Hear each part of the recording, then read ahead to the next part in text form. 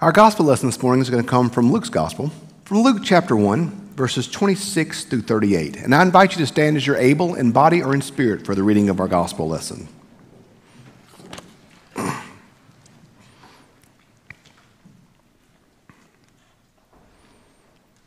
In the sixth month, the angel Gabriel was sent by God to a town in Galilee called Nazareth, to a virgin engaged to a man whose name was Joseph, of the house of David. The virgin's name was Mary, and he came to her and said, Greetings, favored one, the Lord is with you. But she was much perplexed by his words and pondered what sort of greeting this might be.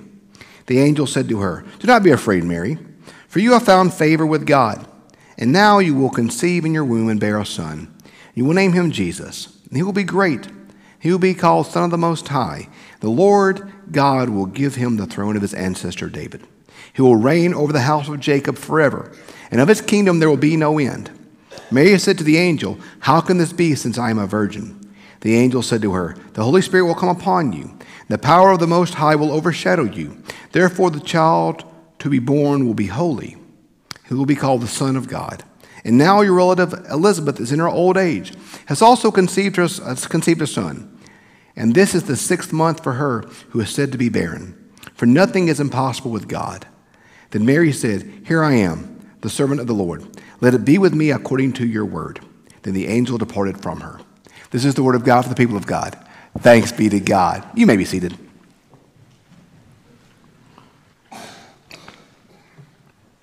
Recently, I had a conference in Birmingham. It was one of those conferences that I kind of forgot that I had. You know, you know how it is when you, when you schedule something or you have something in your calendar, then you kind of forget about it. You look up and say, oh no, I've got this thing this week that I've forgotten that I had, and you got to clear your schedule and all that. So I wasn't really all that excited about going to it. And then um, it happened to fall on the day after I had, we had something in Hattiesburg with Sarah, so I drove from church and when I got off work that day at 5, down to Hattiesburg and went to that concert, and then left Hattiesburg about 10 o'clock that night to go to Birmingham. Uh, pulled into my hotel about 2 o'clock that morning, got about two or three hours sleep. Went to the conference, had the second day of it. And then I wasn't going to stay one extra night, so I got in the car at 5 o'clock that, that day, or 3 o'clock, to drive home. Because I was so ready to be home. The best part about going away is coming back home, is my opinion. Nothing sleeps like, like your own bed. So there I am, leaving Birmingham at 3. And you know, if you, if you have a smartphone, a lot of our smartphones will give you a little, a little notification hey, traffic backed up so and so. So I'm leaving Birmingham, heading home, and I get a little notification on my map that says traffic backed up in Livingston. I'm like, Livingston? It's like three hours from here. I'm not even worried about that. So I get on the road to come home. And about the time I got to about York, Alabama, if you know where that is, traffic stopped. It was like a parking lot. It was like Highland Colony. I mean, there was nothing moving. It was awful. For like 30 minutes, nothing moving. I put my car in park. I'm like, I'm, I'm going to sit here. On, I'm just going to put it in park and sit here. And there wasn't a single thing in the world that I could have done. I hate waiting. I don't wait well. I don't wait well at the red, red light in front of Starbucks, right there off Highland Colony. You know what I'm talking about. I don't wait well there. I don't wait well in the doctor's office. I, I am not an individual who waits well or likes to wait. And so there I was, just, just stuck in traffic. There wasn't anything I could do. I could fuss, I could holler, I could run around the car. There wasn't anything I could do. I was stuck and I was not moving. There was not a single thing I could do to make that line of cars move. Finally, it started moving, but then traffic had gotten so backed up that it was like a bumper to bumper ride all the way through Meridian. Until 59 split off and went south. It was bumper to bumper, and it about drove me crazy. I got off in Forest and went the back roads also ready to get home. I was tired of waiting. Very few of us in our life like to wait. Waiting is not a thing that people enjoy. And in fact, if you like to wait, there's a certain scientific word. Um, I, I think the best translation from the Greek for those who like to wait is called weirdo. no one likes to wait. It is a terrible waste of time. It's awful. I can't stand it. And very few of us like to wait. But here's the thing it seems as though within Scripture that waiting is something the people of God are called to do and are forced to do over and over and over. We see God call Abraham. He tells him, I will make your descendants as numerous as the stars in the sky and the sand on the shore. And when Abraham died, he had one who would be the lineage for him, Isaac. He didn't know what was to, he knew what God had promised him, but all he saw was that one he had to wait. Then the people of God were slaves in Egypt. They cried for years for freedom. And what did they do for years? They waited. Then we see them finally escape their bondage in Exodus. And they get to the wilderness, finally have freedom. And they wander and they wait for 40 years. They wait for a king like David. They wait for a Messiah who was to come in Christ the Lord. But here's the thing. But you know the length of time between the last prophet of the Old Testament and the birth of Jesus? It's 400 years. 400 years the people of God waited. That's twice the age of our nation. They waited. We see Jesus waiting in the desert, in the wilderness, fasting. We see the church now, us, waiting for his return. When you look over and over and over and over in Scripture, it seems like waiting is something that people of God are called to do. It seems like waiting is more a feature than a bug, if you will. It seems like something, something over in the Bible that God calls his people to do is to wait. Why is that? Why does God call us to wait? Why does it seem like waiting is just part of the Christian life? Why is that? Is God just trying to frustrate us? Perhaps. Perhaps. Maybe that Jesus trying to frustrate us. But that doesn't seem to be par for the course for God. Maybe, what is he trying to do? Maybe he's trying to teach us something. We wait, and maybe he's trying to teach us something. But what? What could he be trying to teach us in the waiting? What could he be trying to teach us in the waiting? One of the things about waiting is typically it seems like you wait for something beyond your control. It didn't matter how bad I wanted to get home that night. Didn't make a bit of difference. That traffic wasn't moving. And I stuck there. It doesn't matter how bad I want that cup of coffee. That red light's not changing. It doesn't matter how many things you got on your calendar. That doctor is going his schedule, not yours. One of the challenges of waiting, it seems as that like, is it shows us how little things in life we have control over. But if we pay attention to life, I think we find that out as well, how little control we have. When you have little ones, you realize they cry on their schedule and they eat on their schedule. there's not much you can do about it. You have no control over it. Then you see those little ones get older. They start driving. And you realize how little control you have over that. Then you send them to college or to the workforce. You realize how little control you have over their choices and over their lives. But then, then, then the worm kind of turns a little bit.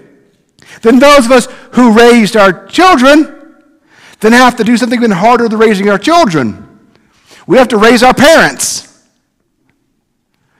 as parents get older.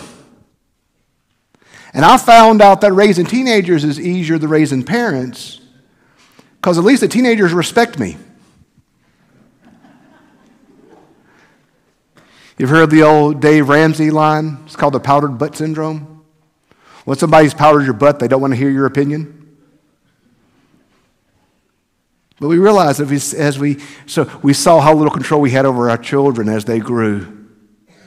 Then as we get older and our parents get older, we see little how, control, how little control we have over their health. in fact, we see it in ourselves, don't we? How, little, how many of us look at our lives and our health, realize how little control we have over that. It was funny, this past week we were looking at our scheduling for Christmas. And we talked about birthday gift for Christ. I'm like, we didn't do it that way. They said, we did this last year. I'm like, no, we didn't. That's not how we did it. I'm like, that's not what I remember. I don't remember us doing it that way last year. They said, Andy, you were getting a kidney taken out and had cancer last year. I'm like, oh, yeah. So I don't remember that. I didn't plan on that one, did I? We see how little in life we have control over, don't we? So maybe the waiting teaches us how little in life we have control over. And we realize how little in life we have control over, then teaches us something else trust. When we realize how little in life we have control over, it teaches us trust. That we have no option but to trust. We have no option but to trust in God. Or, maybe to use the language of faith, of, of the Bible, it teaches us to have faith. To have faith. Because, see, one of my favorite chapters, we're going we're to go here next week. We're going to look at Hebrews 11. Hebrews 11 is a great chapter in the Bible. It's one of those great chapters in the Bible that everyone should study. Because here's what's interesting in Hebrews 11, 11. We see all these Old Testament saints. We see all their lives. We see Moses and Noah and Abraham and all these Old Testament saints. But every one of them, the Bible says this, they longed for something that they did not see in this life.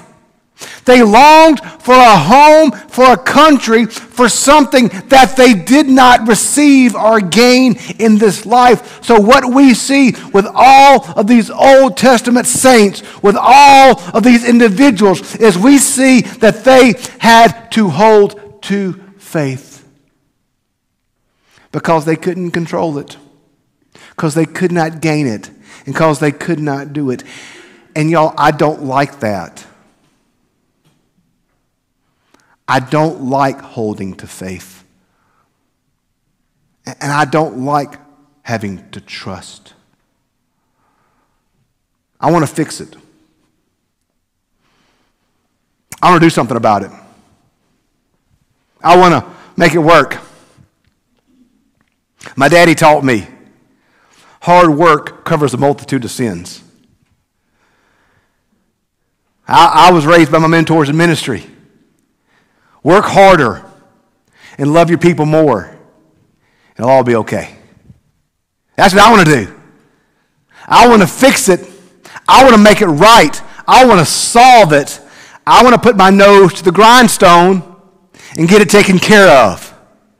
That's what I want to do. But so often in life, we find that doesn't work, does it? We find we are up against something that we can't fix. We find we're dealing with something that forces us to wait, to pause, to give up control. And that cuts against us sometimes. We don't like it. It's so hard. One of my favorite things in the Bible is I love in the book of Acts. How often in the book of Acts, Paul will give his testimony. Paul gives his testimony many times in Acts to different people in different places, usually to Roman leaders, but he's always giving his testimony. And, and, and usually every time he gives it, we see a little bit different spin or a little bit different take on it. There's one time in particular when Paul is giving his testimony, when he quotes Jesus, where Jesus appears to him and says, Saul, Saul, why do you kick against the goads? I love, that's one of my favorite phrases in the Bible. I don't know, there's something about that phrase, kicking against the goads, that I've always liked. I, it's just an evocative phrase. Just, I've always enjoyed it. I don't know why. So I've always been curious about goads. So I did some research on what goads were. And we actually have the, the great great grandchildren of goads in our life today. You know, Rome. Rome built roads everywhere. The, the phrase, all roads lead to Rome, that's true. Rome built roads all over Europe, all over the Holy Land. In fact, if you ever go to the Holy Land or Europe and see some of these Roman roads that were built 2,000 years ago, they're in better shape than some of our Jackson roads. I'm like, these roads are in great shape 2,000 years later. But what they would do is these roads would lead you to Rome eventually. And these roads were used by walkers, but were also used by horses and donkeys and things like that to haul stuff. And they had on the side of these roads these things called goads. Goads were little balls with little prickly things shooting off of them. And the purpose of the goad was if a horse or a donkey were to step off the road, they would step onto a goad. And that goad would, they would go, ow. I don't know if they'd say ow or not, maybe. But if it was Balaam's donkey, he'd say ow. The rest of them maybe just make a noise they'd get back on the road. The goad was there to keep them on the road. Eh, our modern example is you're driving the interstate and you run off the interstate and the asphalt's broken up and your car shakes to get you back on the road. That's a modern day version of a goad. It was something that was there to keep the donkeys and the carts in the road, just like those, that broken asphalt is for us today. So Jesus tells Paul, when he saw, says, Saul, why do you kick against the goads? I love that example. I love that imagery. There's Paul just wearing out his foot, kicking that goad. Kicking that goad. Barely got a nub of a foot left. He's been wearing it out so hard. Because he wants to do something about it. He wants to fix it. He wants to get that goad out of the way. He wants to solve it.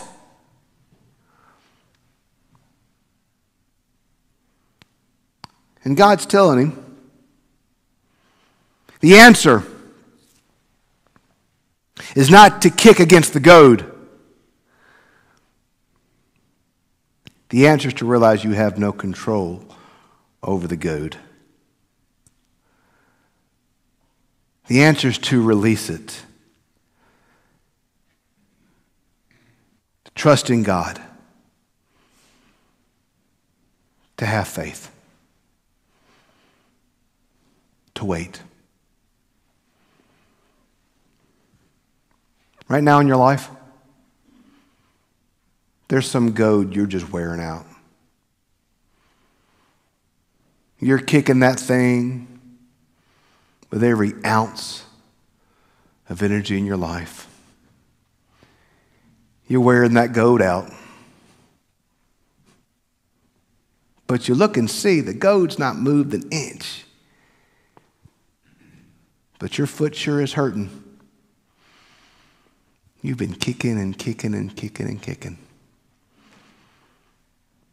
Maybe it's a work thing. Maybe it's a health thing. Maybe it's a church thing. Maybe it's a family thing. I don't know. there's something right now in your life that you are just wearing out by kicking. And all your kicking and all your control and all of that, not making it any better. And you're sitting there, five o'clock traffic outside of York, Alabama, just wanting to go home. And you're not moving an inch.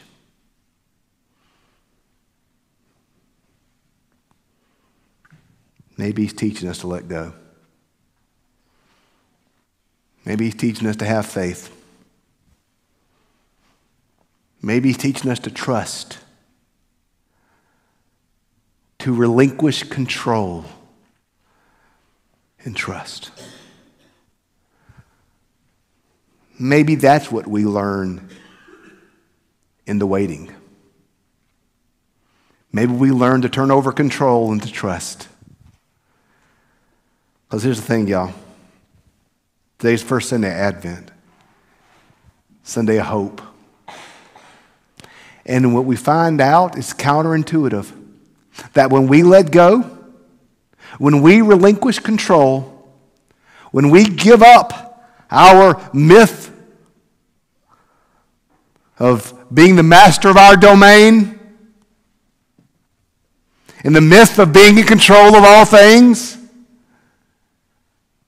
in the myth of having it all figured out, and just let go of it and give control of it to God.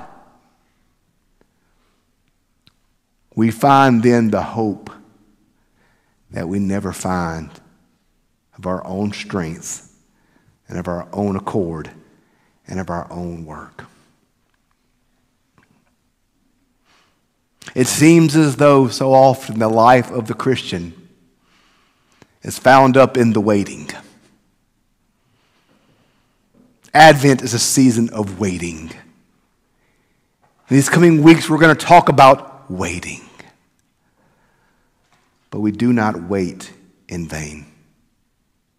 We wait, and as we wait, our God has much to teach us. May we listen. May we understand what we have control of. And may we learn to trust God through faith in all things. Let's pray.